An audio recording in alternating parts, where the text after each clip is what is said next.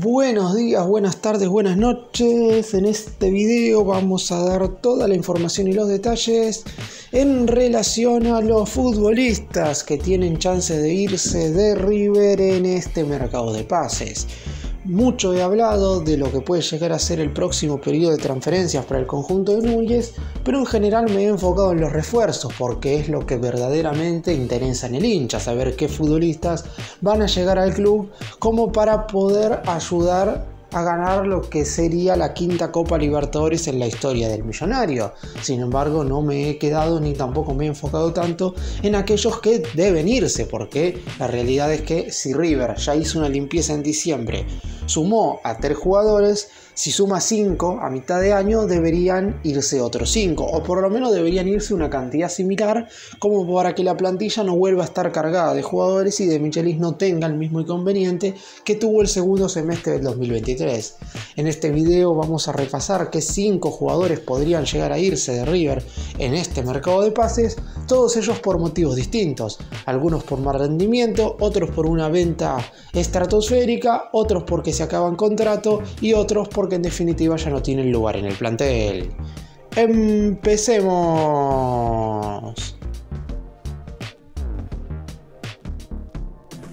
Vamos a comenzar con el caso del futbolista que quizás los hinchas quieren ver más afuera de River desde hace tiempo, que es Agustín Palavecino.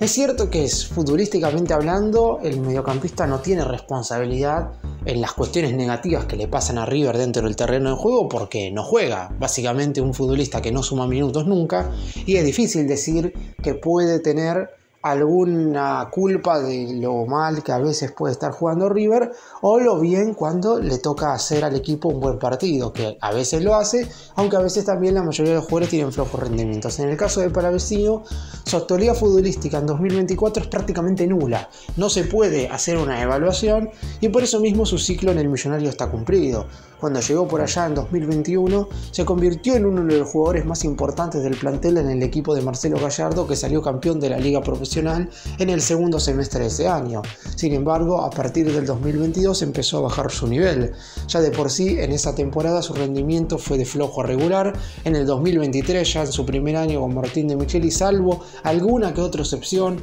un gol que le marcó a Sarmiento que le permitió el triunfo de River por 2 a 0 en el primer semestre, después el resto de sus encuentros fueron verdaderamente flojos. Y en este 2024 ya no se puede ni siquiera analizar, porque en los pocos partidos que ha ingresado no lo ha hecho de la mejor manera y tampoco ha sido tantos. De hecho, ninguno de los últimos cinco cotejos permitieron que Palavecino ingresara desde el banco de suplentes. Es un jugador que básicamente su ciclo en el millonario ya está acabado. Después se hará una evaluación completa como para saber si su ciclo en general terminó siendo positivo. Hay que tener en cuenta, y creo que no hay que dejarlo de lado, que no es un jugador que haya venido con tantos pergaminos, sino que fue pedido por Marcelo Gallardo y por eso en su momento la dirigencia le pagó 3 millones y medio de dólares al Deportivo Cali de Colombia para hacerse con los servicios del futbolista. ¿Qué es lo que va a suceder en este mercado de pases con Palavecino? Por lo pronto hay un equipo mexicano, más precisamente el Necaxa, que está muy interesado en contratarlo y podría ofrecer el dinero que pretende River para dejarlo salir, que es de alrededor de un millón y medio de dólares. Si algún equipo ofrece ese monto y la forma de pago para hacerle llegar el dinero a River termina siendo una de las óptimas que pretende la comisión directiva del elenco de Núñez, lo más probable es que ese club en cuestión se haga con los servicios de Palavecino, que ya desde hace tiempo quiere cambiar de aire, pero se tienen que dar, como dije, algunas cuestiones. River no pretende cederlo a préstamo. En enero San Lorenzo de Almagro era quien lo quería, Rubén Darío Usúa, el ex entrenador del elenco de Boedo, siempre se había mostrado muy interesado en contratar al mediocampista, pero lamentablemente había que poner el millón y medio de dólares que pretendía River. El Ciclón pretendía un tal como había hecho el más grande con anterioridad con Augusto Batalla y San Lorenzo, sin embargo eso no sucedió y por eso se terminó quedando en River. Realizó la pretemporada de manera normal con el resto de sus compañeros, porque esto siempre hay que decirlo, para el vecino siempre fue un jugador muy profesional, más allá de sus malos rendimientos, y ahora Habrá que ver qué es lo que sucede apenas arranque el próximo mercado de pases. La Liga Mexicana empezará igual que la Argentina desde cero de cara al segundo semestre de este 2024 y es ahí donde hay muchos equipos que vendrán a buscar futbolistas a la Argentina. Uno de ellos es el Necaxa que ya está interesado en el volante de River que llegó en 2021. El siguiente jugador es otro a quien River quiere vender y es Héctor Day Martínez. Si bien en el partido que el millonario jugó el fin de semana contra Central Córdoba ingresó algunos minutos en el segundo tiempo para reemplazar a Pablo Díaz, la realidad es que hoy está muy retrasado en lo que respecta a la consideración del DT en el puesto de central. Únicamente juega porque es zurdo, básicamente, y River, como ya sabemos, tiene la idea en el siguiente libro de transferencias de traer dos defensores centrales, uno de jerarquía y experiencia, que sería Germán Pesela, y el otro un central un tanto más joven, pero que tenga la característica de ser zurdo y poder desempeñarse como segundo zaguero central. Héctor David Martínez llegó a River al mismo tiempo que Palavecino y básicamente su historia en el club es muy pero muy similar. Es verdad que Martínez hizo las divisiones inferiores en el equipo de Núñez y eso le debería dar un plus y me parece que a largo plazo le da un plus con la gente, pero en definitiva las características en cuanto a su rendimiento son iguales que la del mediocampista que mencioné recién. Un 2021 muy bueno, convirtiéndose para mí en el mejor defensor de River durante ese año y clave en la obtención de la liga profesional de la mano de Marcelo Gallardo. Un 2022 que vino acompañado con una lesión en el mes de marzo que no le impidió nunca volver a ser el mismo y ya en el 2023 jugó a cuenta gotas, lo poco que lo hizo lo hizo mal y en este 2024 la única titularidad que tuvo fue contra excursionistas por Copa Argentina. Después jugó el duelo amistoso contra el Independiente Rivadavia Mendoza, pero es un compromiso no oficial que rápidamente hay que olvidar porque River perdió por 4 a 0 y verdaderamente nunca estuvo a la altura de las circunstancias como para recordar ese momento como parte de este semestre. ¿Qué es lo que sucede con Héctor David Martínez? Ya ha tenido dos ofrecimientos, uno de Olimpia de Paraguay y otro de Newell's Old Boys de Rosario, pero por lo pronto los dos son para llevárselo cedido y la realidad es que River ya quiere una venta definitiva. Recordemos que el más grande se lo tuvo que recomprar a Defensa y Justicia porque lo había transferido en primera instancia,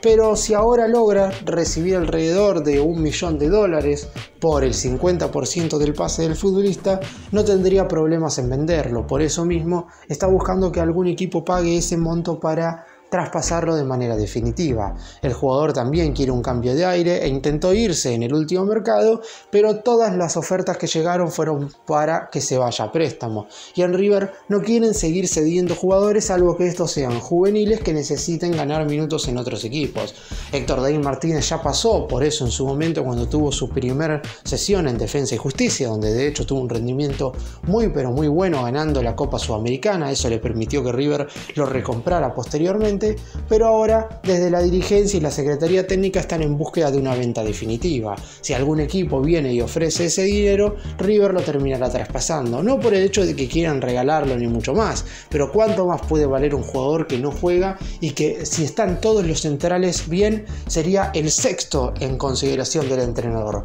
Mucho no puede valer más allá de su pasado, más allá de que en su momento fue un hombre de selección paraguaya, hoy está lejos, no va a formar parte del plantel de la Copa América 2020 puede volver a hacerlo, está claro, pero para eso necesita irse y ganar continuidad.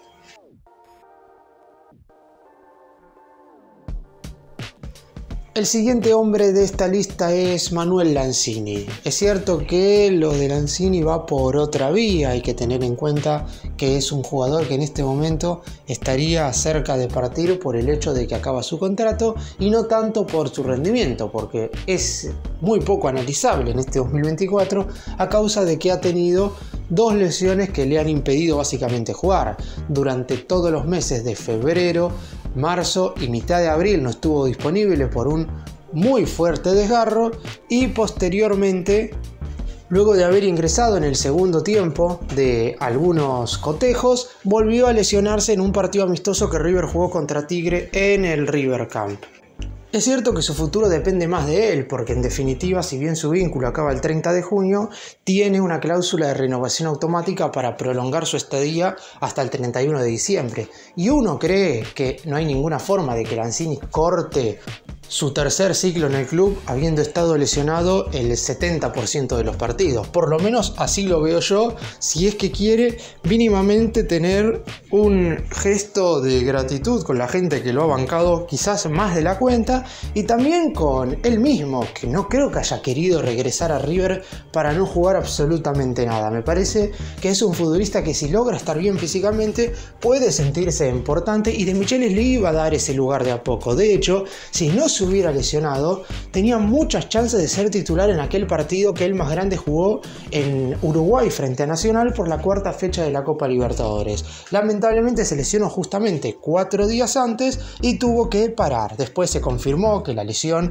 era una fractura en el quinto metatarsiano de uno de sus pies, motivo por el cual tuvo que hacer rehabilitación por dos meses, lo que significa que durante todo este semestre no vamos a volver a ver a Lanzini. La idea de hecho es que esté óptimo para la pretemporada que será a comienzos del mes de julio. Sin embargo, su contrato termina el 30 de junio, por lo que hay que ya hablar con la dirigencia para saber si va o no a renovar su contrato. Algo que repito, lo más probable es que lo haga, que Lanzini no se vaya de River puntualmente en este periodo de transferencias. Después, una vez termine este 2024, a final de temporada, sí se podrá hacer una evaluación un poco más extensa y Lanzini podría llegar a irse de River porque cree que su ciclo acabó. Pero esperemos que esto no sea así, que en el segundo semestre pueda jugar muchísimo más minutos, que tenga mucha más continuidad y que podamos ver a ese jugador que el más grande fue a buscar, que era un futbolista que si bien no había jugado tanto en la última temporada en el West Ham de Inglaterra, estamos hablando de un hombre que venía de la Premier League, que no es para nada sencillo jugar en el fútbol inglés y que el propio futbolista lo hizo durante ocho temporadas sin perder continuidad, más allá de alguna lesión fuerte que tuvo por allá en el 2018. Ahora le han tocado dos malas consecutivas en este 2024 y no ha podido ser titular en ni siquiera un partido es claramente el jugador a recuperar, pero todavía no ha tenido la posibilidad del entrenador de hacerlo, teniendo en cuenta que lo estaba llevando de a poco después de la primera lesión fuerte, pero volvió a lesionarse, esta vez de otra forma, porque la primera lesión fue muscular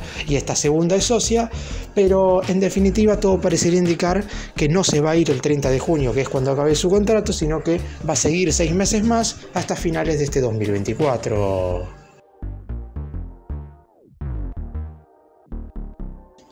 Vamos ahora con Ezequiel Centurión, otro a quien no se puede evaluar por rendimiento en este 2024 porque no ha atajado. Bueno, estuvo en el 4 a 0 frente a Independiente Rivadavia Mendoza. Quizás sea el lugar común donde coinciden estos cuatro primeros futbolistas que mencioné, aunque claramente su situación se basa por otro lado. Centurión por lo pronto hace dos años y medio casi que está en River de manera continuada, siempre ha sido suplente de Armani y ha atajado a cuenta gotas porque tanto en el último año de Gallardo como entrenador, como en este primer año y medio de Michelis como DT, siempre han decidido Armani por sobre cualquier cosa y es algo totalmente lógico porque el pulpo siempre ha sido un guardameta diferencial. Aún en sus momentos más flojos ha sido el mejor arquero del fútbol argentino y es totalmente lógico que tanto Gallardo como de Micheli lo hayan elegido siempre a él por encima de Centurión. ¿Qué es lo que puede cambiar en el siguiente mercado de pases? Que ya se ha mencionado y se está especulando mucho con la posibilidad de que River traiga un arquero suplente de más nombre o por lo menos más conocido como para que este sea suplente de Armani por un tiempo y que se vaya adaptando a lo que es al arco de River antes de que el pulpo se vaya.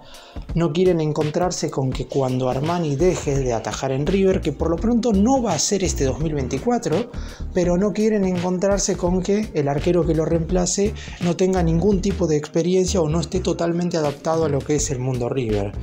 Básicamente desde la dirigencia no quieren que suceda lo mismo que pasó cuando se fue Barovero, que se terminó yendo a mediados del 2016 y por un año y medio básicamente River estuvo sin un arquero titular definido, más allá de que Gallardo en primera instancia había elegido a Batalla, pero que después tuvo que sacarlo por flojos rendimientos. Por eso mismo quieren que venga un arquero suplente en este o en el siguiente mercado de pases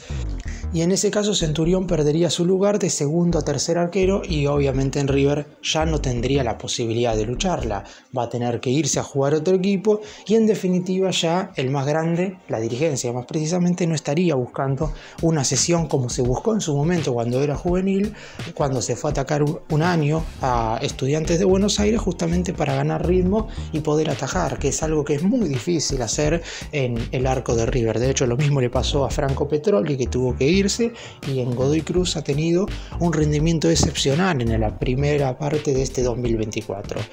Ahora lo de Centurión está totalmente ligado a que si llega o no un arquero. Si River contrata un portero a mitad de año, Centurión se va a ir, no le va a quedar otra. Después habrá que esperar si se termina yendo por medio de una transferencia, que creo yo que es lo más probable, más allá de que no tiene cotización, porque en definitiva River nunca trató de venderlo, ni tampoco nunca llegó una propuesta formal por él como para que la dirigencia lo negociara. Simplemente llegó alguna que otro ofrecimiento para sacarlo nuevamente a préstamo, pero Centurión en River se ha sentido cómodo siendo el segundo guardameta, el suplente de Armani. El problema es que ahora tiene que pasar a ser el tercero, porque además de volver a retroceder en la consideración del DT, estaría retrocediendo en su carrera, porque a lo mejor le es mucho más conveniente intentar pelear titularidad en un equipo muchísimo más flojo y débil que River que ser el tercer arquero del plantel y además tapar a algún juvenil que obviamente son los que generalmente ocupan el lugar de tercer guardameta en una plantilla de fútbol.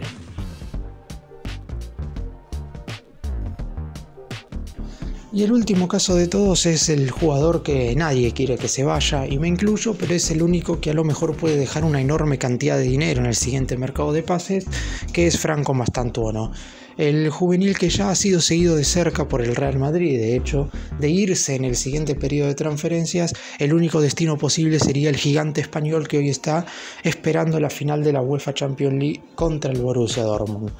Por lo pronto, desde la dirigencia en este mercado de pases no se moverían del valor de la cláusula de rescisión del joven de 16 años que es de 45 millones de euros.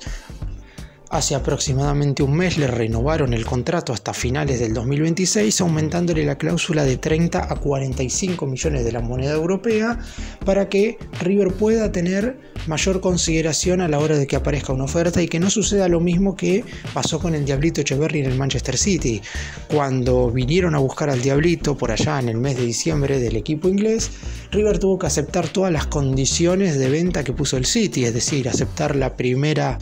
parte del pago de 15 millones de euros en tres cuotas y después los 10 millones restantes para completar los 25 de la cláusula de rescisión en objetivos y bonos de acá a 3 o 5 temporadas. River no pudo ni siquiera meter un ítem en lo que sería la manera de recibir el dinero, porque en definitiva si no aceptaba esa oferta, el City no compraba a Echeverry, Echeverry no renovaba el contrato y se iba libre a finales del 2024. Es cierto que a lo mejor la gente iba a quedar muy enojada con el futbolista, pero en definitiva lo importante en ese caso fue que River pudo rascar algo de dinero. En este caso con Mastantuono no sucede lo mismo, porque si bien es cierto que la idea de la dirigencia es venderlo por el valor de su cláusula de rescisión, si el Real Madrid ofrece algo menos de dinero, por lo menos en River pueden negociar porque tienen un margen bastante importante. Dos años y medio faltan para que el juvenil se le acabe el contrato y en definitiva el monto es lo suficientemente alto como para hoy vender a un chico de 16 años. Ahora lo que habrá que esperar es ver si el Real Madrid en definitiva hace una propuesta. Por lo pronto los ojeadores y buscadores del conjunto de la capital española ya se comunicaron con el agente deportivo del futbolista para hacerle saber que es la primera opción para traer un futbolista joven del fútbol de Sudamérica. El Real Madrid siempre ha contratado jóvenes futbolistas de este lado del océano, pero hace bastante que no lo hacía con un argentino. Y más tanto no parecería ser quien va a volver por esas vías y hay que esperar a ver si el Real Madrid hace una oferta. En cuanto aparezca la propuesta sabremos si River hace una contraoferta inmediata, porque una de las razones por las cuales no se puede ir en el siguiente mercado es porque a lo mejor el Real Madrid ofrece pagar inclusive más que la cláusula aunque estos pagos no se abonarían justamente de una sola vez como si serían los 45 millones de euros de la cláusula de rescisión. Por eso en ese caso sí estaríamos en vistas de una negociación, pero como dije recién, River a diferencia de lo que pasó con Echeverry va a tener voz y voto a la hora de negociar porque el jugador tiene una cláusula lo suficientemente elevada y porque el tiempo de contrato que le queda al futbolista es lo suficientemente adecuado como para que River pueda poner condiciones a la hora de vender al futbolista. Aún así, esperemos que no se vaya en este mercado de pases porque River no ha podido disfrutar básicamente al juvenil de 16 años y ojalá dentro de un par de años sí pueda hacer su experiencia europea, aunque ahora lo mejor para él me parece que seguiría continuar en el millonario.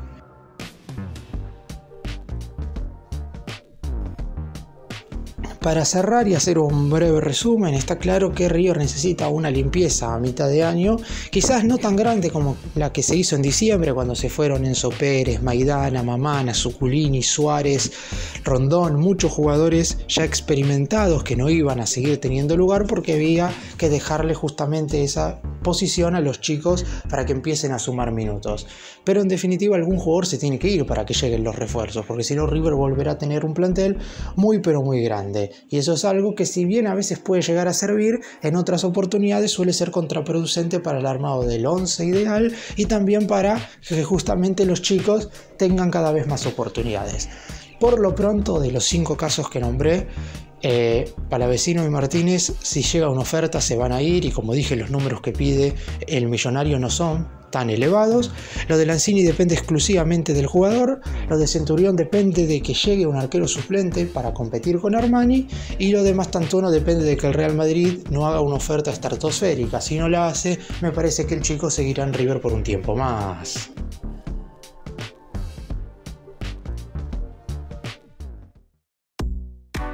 Gracias por mirarnos, suscríbanse, nos vemos en el próximo video.